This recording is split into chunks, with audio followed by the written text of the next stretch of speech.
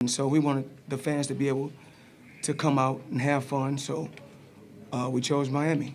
I, I got a follow up. Uh, in the fourth round, you, you kind of had that pep in your step after you hit uh, Logan Paul with the left hook. Uh, how did you feel out there?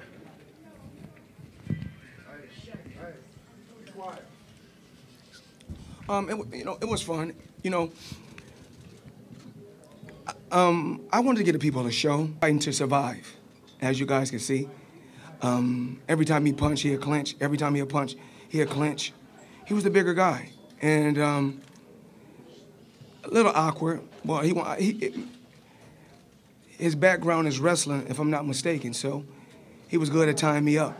So a guy that came in over 200 and some pounds I came in at 155, but no excuses. I had fun tonight, and um, you know I go out there to put on a show, and I and I really believe that he was you know just going a distance. That was a win for him, so he was happy with going a distance. Floyd, he seemed pretty fatigued by the middle part of the fight. Kid said he'd been training every day for years, every day in boxing. I'm somewhere in Aruba, in the Bahamas, in Dubai. I'm traveling the world on my jet making millions every month, not worried about not worried about nothing. And then when I see it's a chance for me to do a heist, a quick a quick heist, I'm gonna, I'm gonna let y'all know this.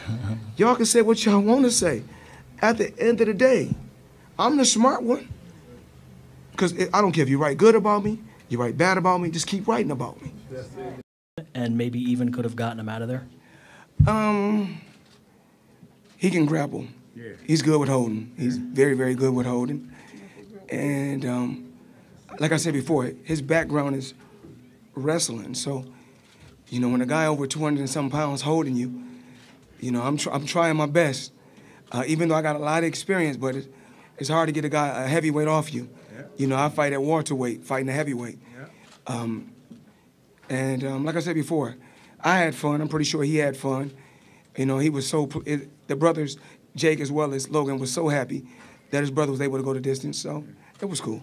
His brother saying that he won the fight. I'm assuming trolling you, so to speak. But what are your thoughts on that? Um, he's entitled to feel. You know, he's entitled to feel how he want to feel.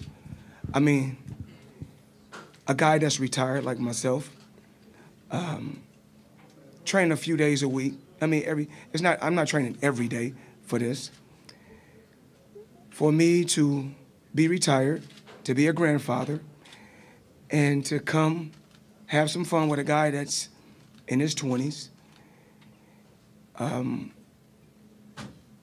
when the money comes, we'll see who's the real winner. Because at the end of the day, I'm going into the Hall of Fame for boxing. And um, I, don't, I have nothing to prove.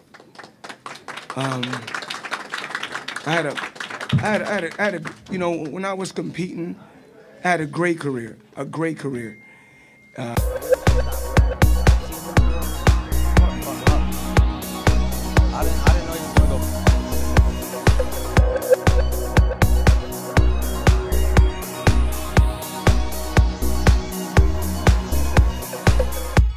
Go first. I'm the champ.